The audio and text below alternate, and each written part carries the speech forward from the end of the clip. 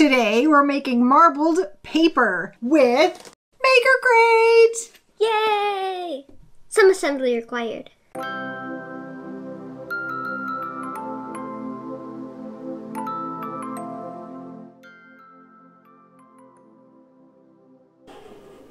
So let's see what they gave us inside our Maker Crate for this month. Marbled paper. Ooh. So there's the little inspiration manual right here. And then we have our paper that we can do stuff to. Marble. Yeah, these look like these look like the envelopes and cards and stuff. Whoa, there's a lot of sticker sheets. There's like Oh wow. a bunch. I thought there was only gonna be one. Oh yeah, a bunch of sticker sheets, a bunch of watercolor paper, and some rice paper. I believe this rice paper goes on the inside of some of the bigger envelopes. So basically, we marble the paper and then turn it into a stationery. It's a little bit crushed. Yes, the the project that they have is adding marbleizing to stationery. We've got a little paint tray, And we have the weird. carrageenan, which is from seaweed. That's going to thicken up our water so that our paint sits on the top of it and does not just sink to the bottom. Because if you sink to the bottom, It is not. going to marble. And then we have our toothpicks Toothpicks. and a whisk. Ooh, that is a cute whisk. Love it. It's a little um, sharp. It's a lot sharp, actually. I might file that down before we use it. This nice soft paintbrush. I would call that not soft. It's like gloopy though, so we can like like Yeah. that, And then we have our little like rake thingy. Oh, so sure. Marble. like a giant comb. You can't brush mine; it's in the braids. Oh, that's nice. Yes. Now, yes. Later, no. And then we have our paints. So this is special paint. They put something in it to make it a little bit thinner so that it sits on top of the watery goo. Gooey water. And then we have our glue stick. The glue stick is for sticking the insides of the envelopes to the envelopes. And then in here are our marbling tools. Should I open it? Yeah, pop them open. Ooh, what kind of marbling tools do we get? Whoa! What are those? oh, pipettes. Baby pipettes! I was not expecting those. And then we have our um thing We call it a stylus. that you dip in the paint and then you can put it in the water. Metal stylus. And also you can swirl it around. Oh, here's our measuring teaspoon. Teaspoon. Yep. And here's our plastic stylus. Cool. Which we could also use for sewing. Gigantic sewing needle. And then here we have our little tray thingy. It's not how I expected. It's very like plasticky.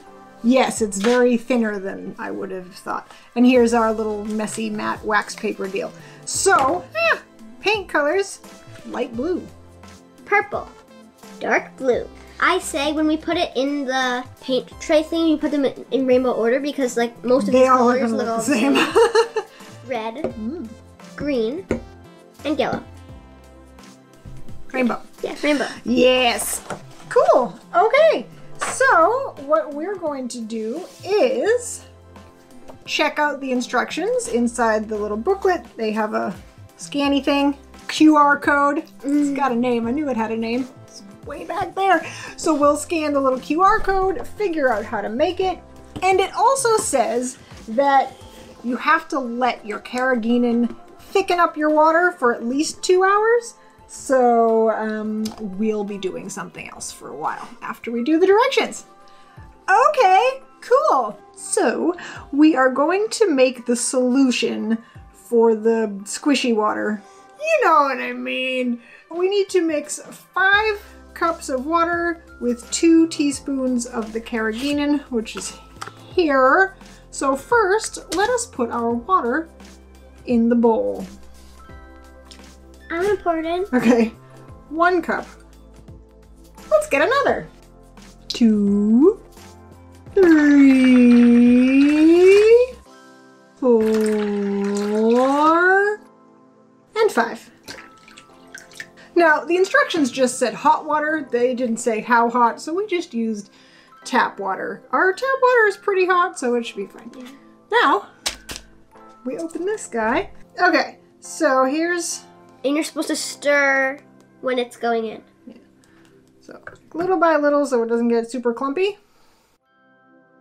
So our little plastic tray holds two and a half cups. So this is a double batch. So if you wanted to make a single batch, it would be two and a half cups and one little teaspoon scoop.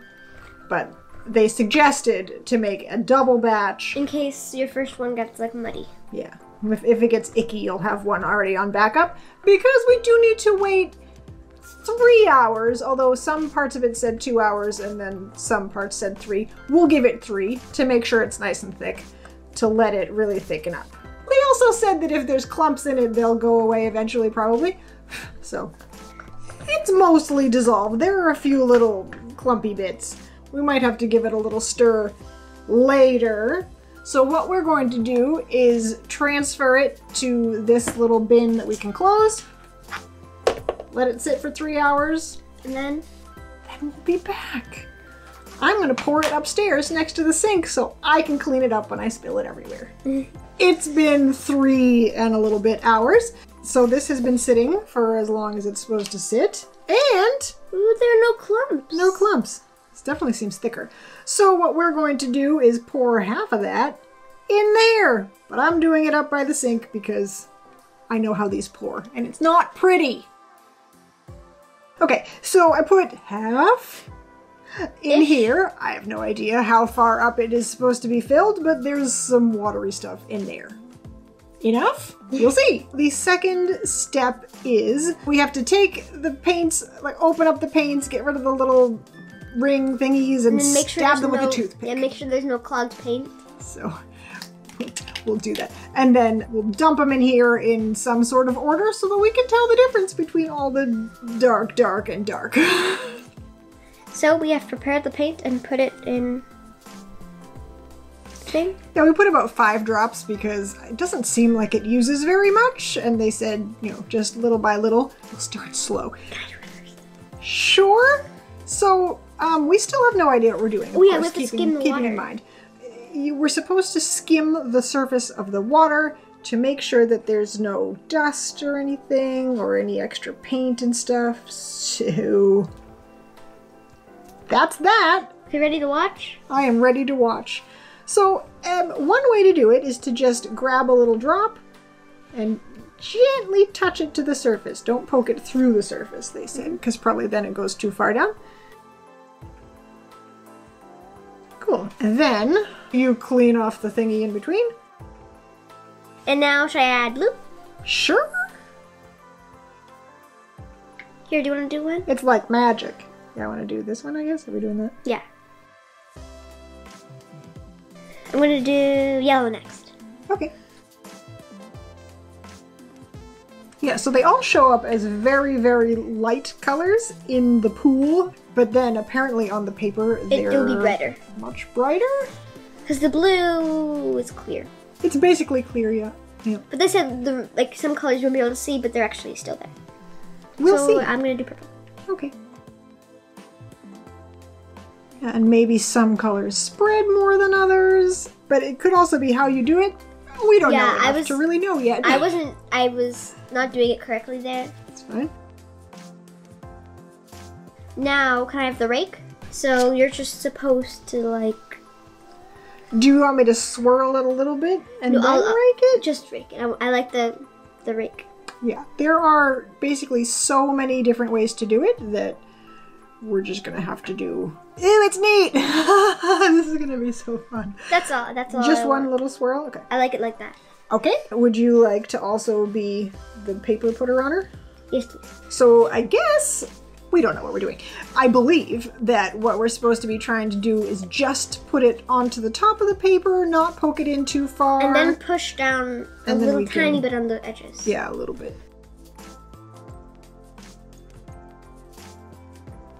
Probably fine if the back gets a little bit colorful. And then then supposed to- slide it across to get extra liquid off.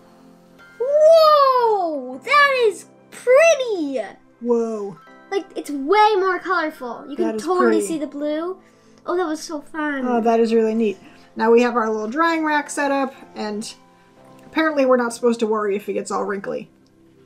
Good. So I believe that you don't really want to watch us do this in real time, we'll try it from the overhead camera and speed it up. And then we're gonna try a whole bunch of different things and see what we like best and see what works. We're gonna just try out some stuff on the watercolor type paper. Yeah, this is just like extra Yeah, it's just sort of, to start. we'll see. We'll be back and hopefully have information.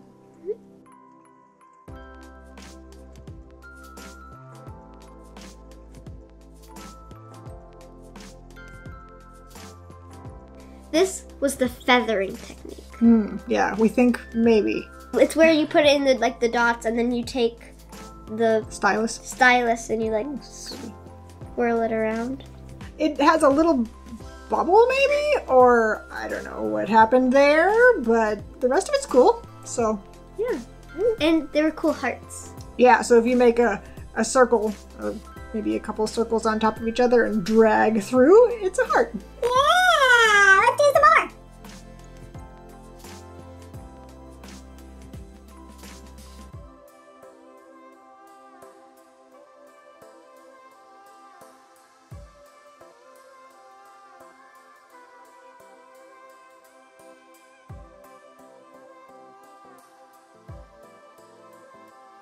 So I made these rainbow hearts because I love rainbows.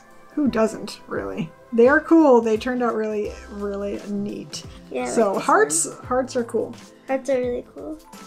So maybe next we'll try a stationery package. So we mm. have.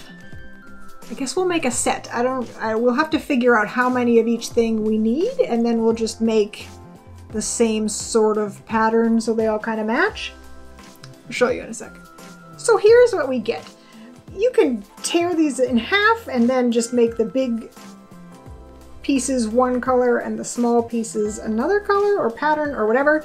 I think it would be easier to do it all in one. You get two cards and stickers for the big envelopes and two cards and you know sealing stickers for the little envelopes. Which means that we're going to do two of the little rice paper envelope inserts For the, for the small size and And- two, you guessed it, for the big ones. So we'll try to kind of match all of these together so it'll be a set Yeah. of stationery. It would be a cool gift, but it's probably not going to be. We're probably going to keep it. So there are, I guess, three different colors. Famous Maker Crate dull colors. Uh, there's sort of a dusty rose color. Is that chartreuse? Brownish yellow. yeah, sort of a mustardy green. And then dark blue, maybe you would call that a peacock blue. So there are three different options. I don't think we're going to care about if we match with them, so we're not going to let them limit us. Here we go.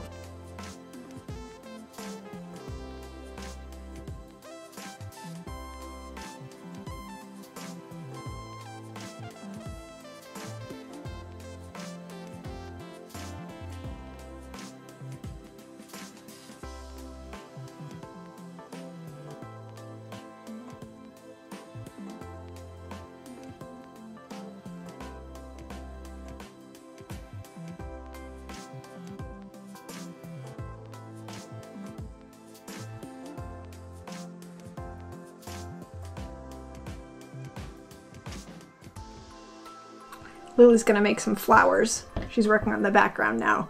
It's gonna be cool.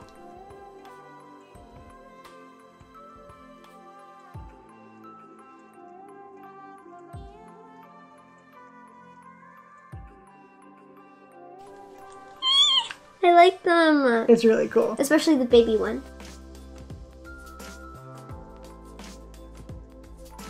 Now, in all this time, we have not changed our water. It's getting a little bit icky, but it's still whoa. Looks Wow! wow. Oh, by the way, they taught us how to do it. I didn't make that up. This is cooler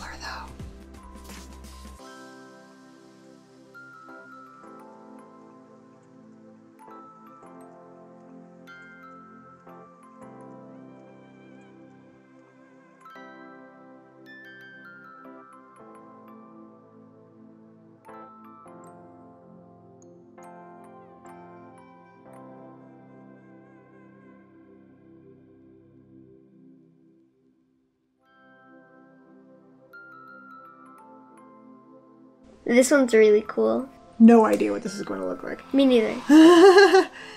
it's everything splattered around. Ooh! It's pretty cool. I made dots and she splattered on them. And I learned we could mix you can mix colors and it's like yellow with like blue. It's cool. this is really fun. Like really fun. It even looks cool when you don't marble it, even though it's like marbling. It looks cool if you just do like dots, Just dots instead of dots inside of dots. speckles and stuff. It's pretty cool. There's a lot of different things that you can do with this. Um, we have some more projects planned for Mm-hmm. later, but not this video. So we need to wait for these things to dry. And then if they are really warped and wiggly, we can either put them under a book or iron them. And then we'll make a stationery. Yeah, show how the stationery is made.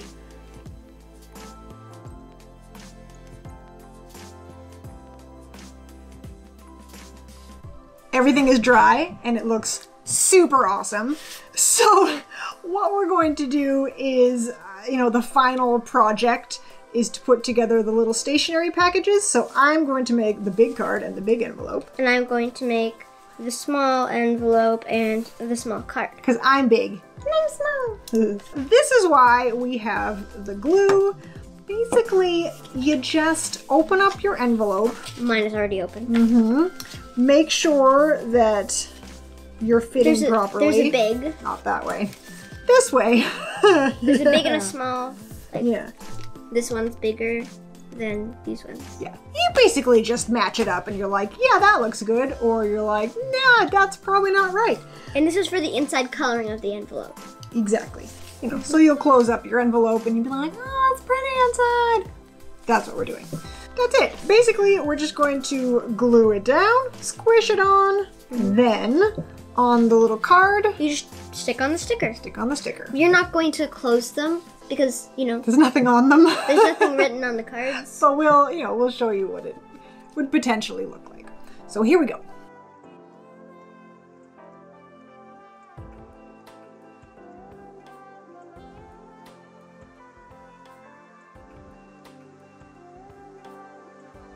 So you can glue the envelope shut, like the uh, pockety side of it, or you can just seal it all at the end with a sticker. We glued it shut, We decided to glue it shut since we're not putting on the stickers right now.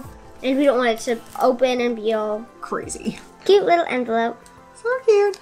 Now we'll do our big stickers. You have your small sticker. Okay, so here's a small problem. The sticker part, yay, great, it's totally sticky, but the front has peeled off. So I guess I'll just go ahead and glue that on. That's fine, I'm sure. Um, mine has totally worked, except for right here. It's a tiny bit. Yeah, yours just a tiny bit. Oh, and then you do it on the front of the card. Yeah. Well, yours is a card, mine is just a square.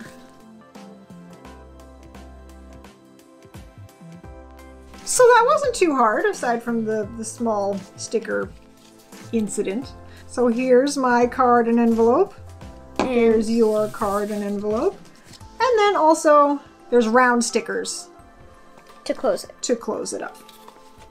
See, and I put my little card inside. Cute! I like how they're so different, and I also am kind of impressed that we picked colors that would match perfectly with the envelopes. We haven't found one that matched with the weird Yellow? grello, Gorello. grello, mustard grello. This is a cool project.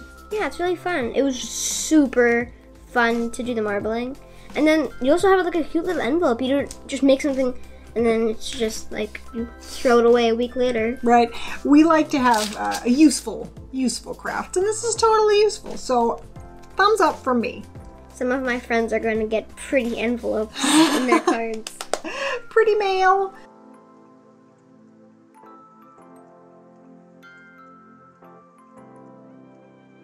I think that this was a great maker crate. I am pleased with it. So happy. I think maybe we really like marbling, so we have some ideas cooking. Make sure you check back with us. We already have the next Maker Crate box, but I'm gonna give it a couple weeks before we do that project because I like to space them out. Until then, if you enjoy this kind of thing, keep an eye out for all the new Maker Crate videos, and there have been a bunch that we already did. Ooh, maybe I can try to connect a playlist up here. If it's not there, I can't. If you enjoy them and you would like to see more, make sure that you give this video a thumbs up and subscribe if you aren't already so you don't miss the next one. I totally forget what it is, but it looked fun. Click the notification bell and we will let you know when all of the videos come out. They come out on Tuesdays. And Saturdays. And until the next video, we will be here thinking of awesome crafty ideas and doing awesome crafty things and thinking of cool videos to do for you. So, we will see you then. In the meantime, bye!